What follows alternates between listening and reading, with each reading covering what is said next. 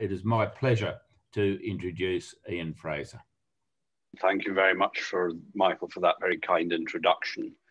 I believe my job today is to see what we can learn from one successful public health campaign that included a vaccine that might be relevant to COVID 19.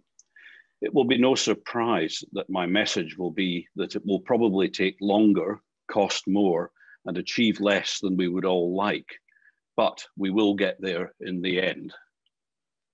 Cervical cancer is a global challenge. We lose 330,000 women to cervical cancer every year, mostly in the developing world. And this is a disease which is still in the developing world increasing in frequency. The history of the attempt to control cervical cancer goes back to George Papanikolaou, who came up with a screening test for cervical cancer it was first described in 1928, where he looked at cells from the neck of the womb under the microscope and saw cancer cells and realized that this might be a potential way of diagnosing cervical cancer. He finally published the work in 1943, uh, so it took quite a while for the message to start getting out there. But perhaps the most significant thing is that it wasn't really until there was a plan for national screening introduced, that the ben benefit of this new test to help prevent cervical cancer was evident until about 1987 in the United Kingdom, where these data are from. Cervical cancer and frequency did not diminish, even although a, a, program of screening had been mooted and introduced.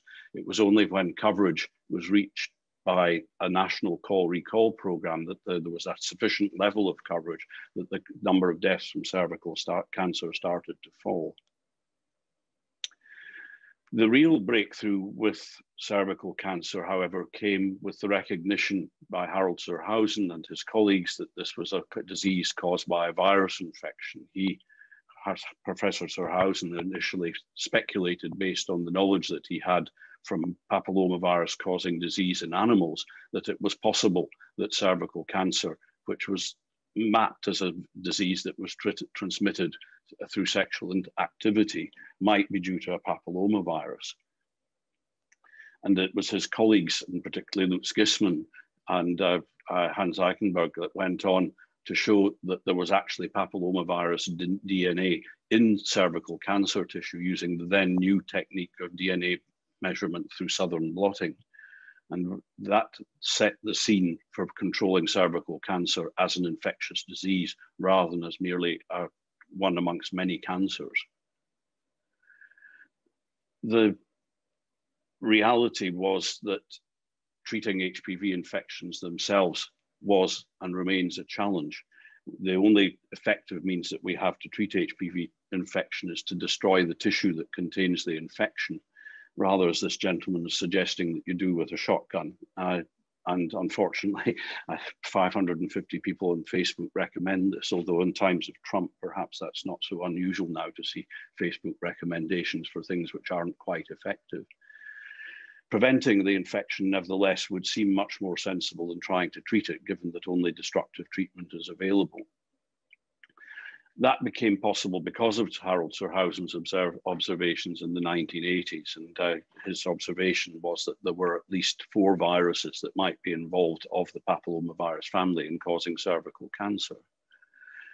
What he didn't know and what we subsequently learned was, of course, that these infections were very common. So it was important that we understood the natural history of the disease to make a sensible decision about how public health measures could be used to control it. The data on the screen here show that uh, the uh, from if you look at a group of college students and time zero in the graph in the middle there is when the college students entered college and test them regularly for HPV 16, which is the highest risk human papillomavirus, then there's a linear increase in infection rate such that after three years, half of all of the population that were screened clear of the virus when they came to college had acquired HPV 16. Of course, the good news from the practical point of view is that if you look at the graph on the right-hand side, and time zero is then 100% of a group of people infected, then over the course of five years, 98% of those people will clear the infection themselves without ever knowing that they've had it. Nevertheless, this is a common infection, and there are two common HPV types associated with cervical cancer and several rarer types, such that it takes about eight or 10 different types to cover more than 95% of cervical cancer. And as I say, most of these infections resolve spontaneously, and unfortunately, 1 to 2% will progress to cancer over a period of between 5 and 25 years, with a median of about 15 years unexpectedly, it's possible to detect the precancer changes that Papanicolaou described as early as one to two years after infection. So there's a long time before the precancer cells turn into cancer. This gentleman is, uh, is my late colleague, Dr. Jian Zhou, and he and I together uh, worked on developing a vaccine to help prevent cervical cancer. Uh, that became possible because of a new technology that was available at that time using eukaryotic gene expression systems to express the major capsid protein of the virus in the laboratory. This was necessary because it's not possible to grow papillomavirus in the lab. You can only isolate it from tissue, and therefore it was necessary to use a synthetic papillomavirus protein in order to help protect by vaccination these virus-like particles self-assembled if we'd got the conditions right for making them, and they were highly immunogenic, which was then became the basis of the vaccine. So that we took uh, material to make the vaccine from a clinical lesion and cloned out and isolated live virus and extracted the genetic information from the virus and they cloned the major capsid gene in a eukaryotic expression system. This was necessary because if you expressed it in bacteria, you got a protein which resembled the L1 but was not immunogenic and didn't produce an immune response that was host protective. The virus-like particle purification was a challenge which we undertook on very small scale, but industry had to deal with in large scale. And that was one of the reasons why the development of the vaccine took so long, because getting from the teaspoonful of vaccine material that we could produce in the lab to the much larger quantity needed to develop a vaccine program globally took several years. Nevertheless, it became possible and the vaccine bit was based on these virus-like particles and an alum adjuvant. It was in that sense a very conventional vaccine with a very conventional adjuvant and protein.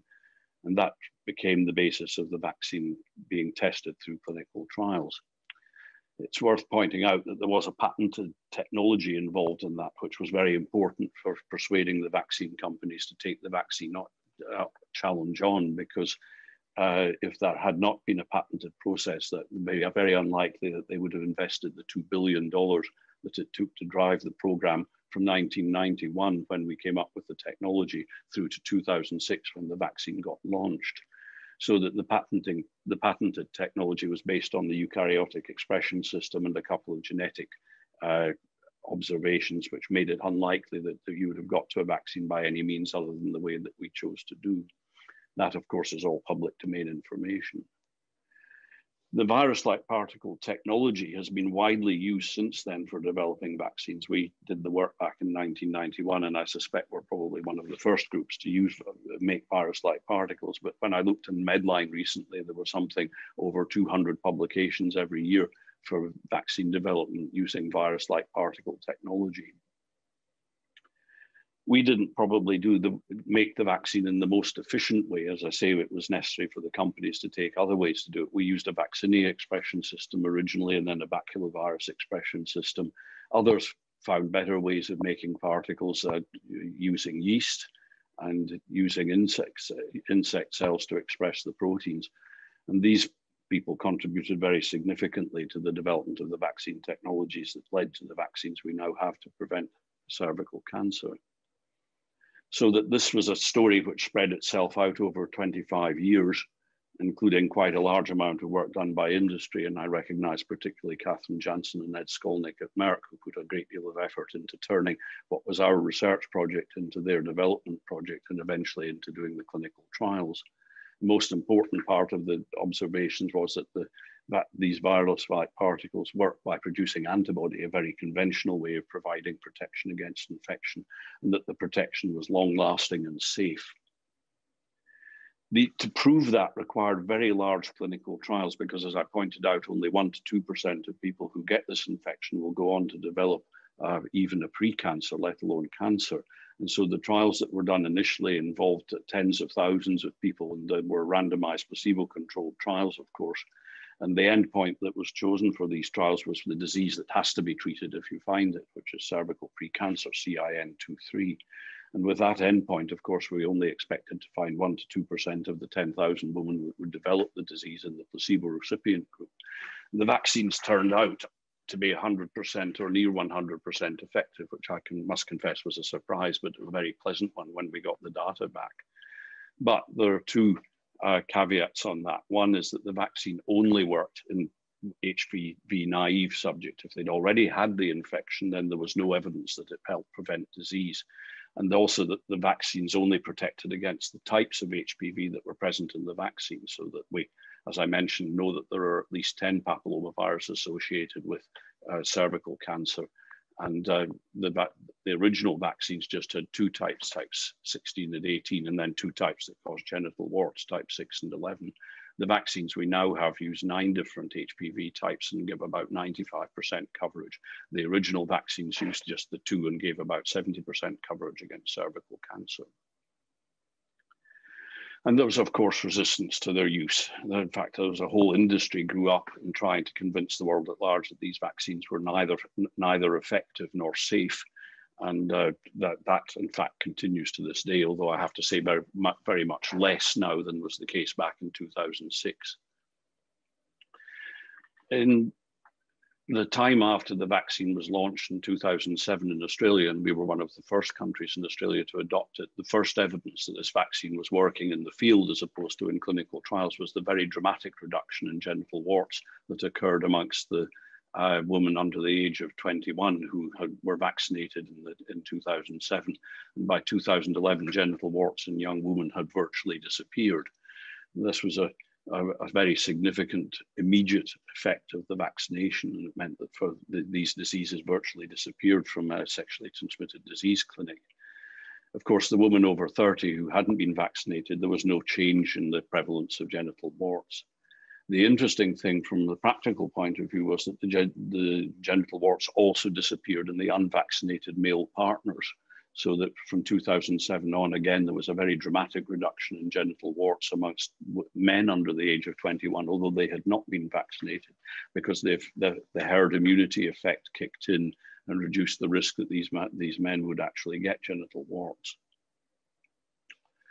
One thing that we learned confirmed fairly quickly after the vaccines were introduced was that these vaccines were not therapeutic. If the vaccines were given to young women under the age of 14 who had not been sexually active, then they got good protection against cervical precancer, about 75%, which bearing in mind that these were women vaccinated with HPV 16 and 18, and therefore only protected against 75% of cervical cancer. There was seven, at least 75% protection against cervical precancer in the woman immunized at the age of 18 of 14. But if you look at the woman immunized at the age of 17, where there had been considerable prior exposure to the virus, then there was a much lesser reduction in the incidence of cervical precancer, indicating that those women who had already been infected were not protected against the disease progressing onto cervical precancer.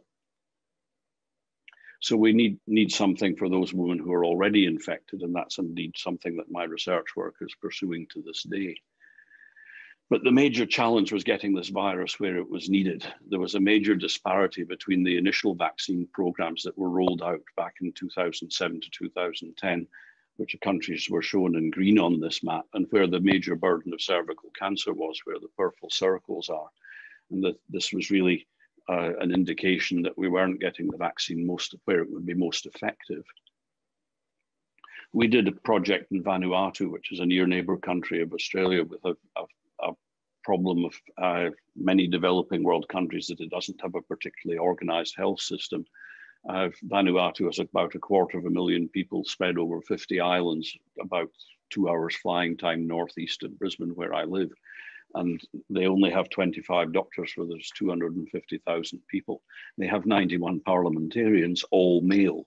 And that was uh, one, one of the reasons why it was a bit of a challenge to get the vaccine introduced there And they had the usual problems with vaccine delivery that they had only one vaccine fridge for all the 50 islands and no reliable electricity. If, if the power went off, then diesel generators were available, but the diesel was never there to run them because it was purloined for other purposes.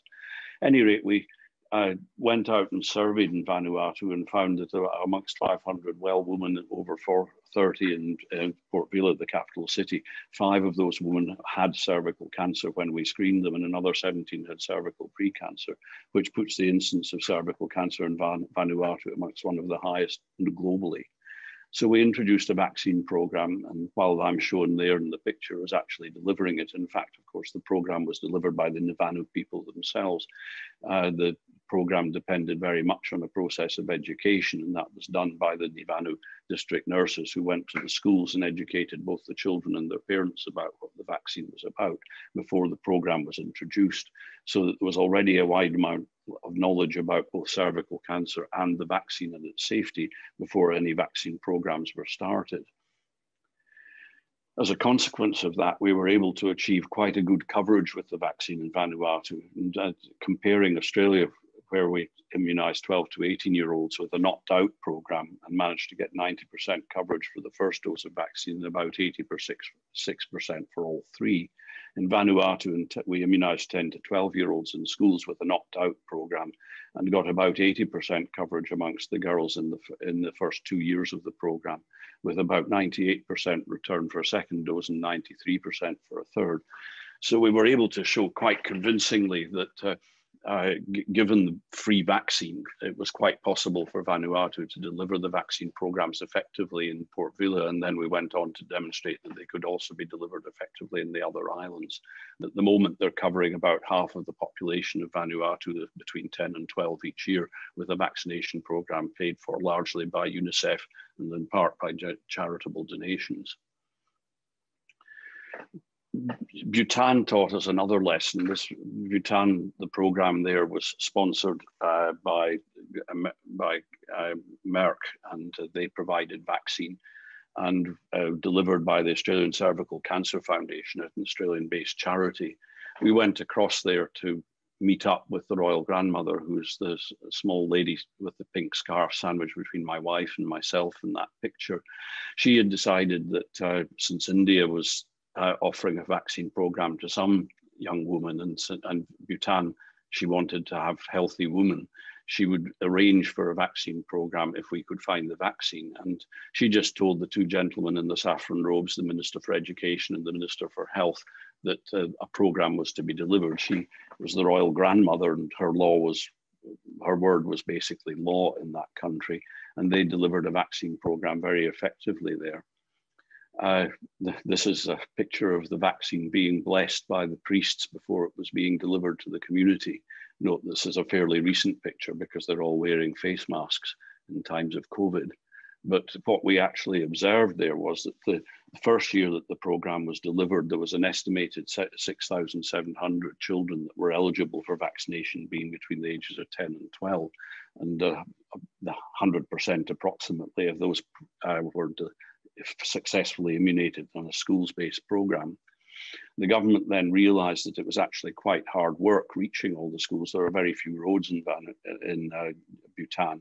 And uh, so they encouraged girls rather to come to health centers, which are mostly on the roads and quite a long way away from the villages. And then immediately there was a significant drop off and the vaccination rate fell to about 60% of the eligible girls. And that continued until the program returned to being a schools-based program in 2014. And again, the vaccine rate was much more successful after that. So the moral to the tale there is try and keep the program schools-based.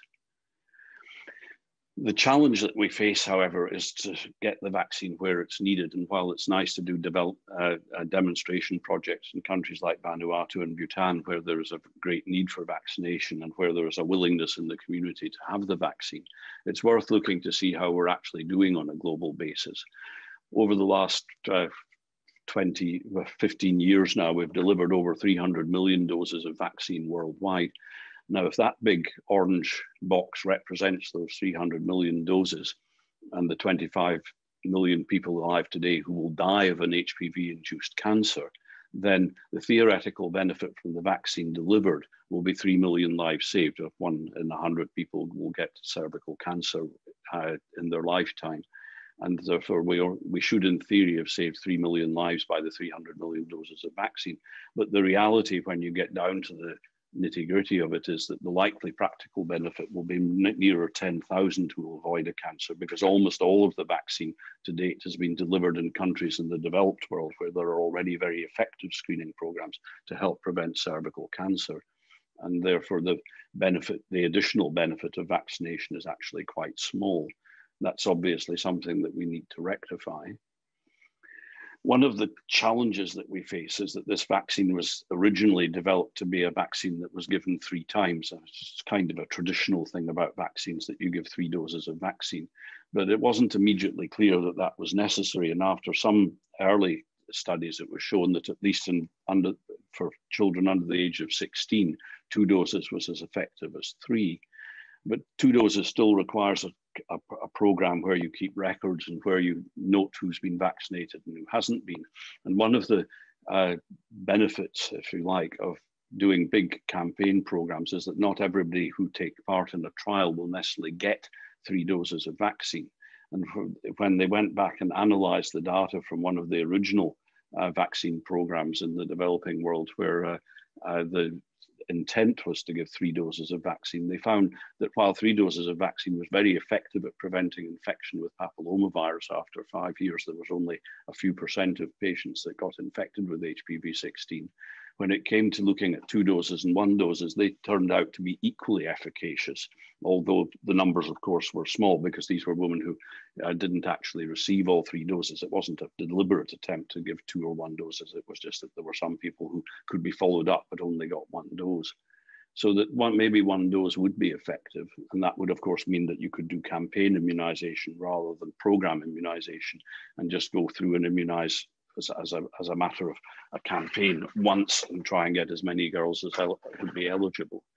So the big challenge for HPV vaccines these days, first of all, what age to immunize because it has to be given before sexual activity. And in Vanuatu, that means before the age of 10 years, whereas in Australia, you can uh, be reasonably comfortable with immunizing at the age of 14 where to immunize. Well, schools-based programs work in Australia and they work in Bhutan and they work in Vanuatu and they don't work so well if you then try and do them elsewhere. So it seems logical to have a schools-based program.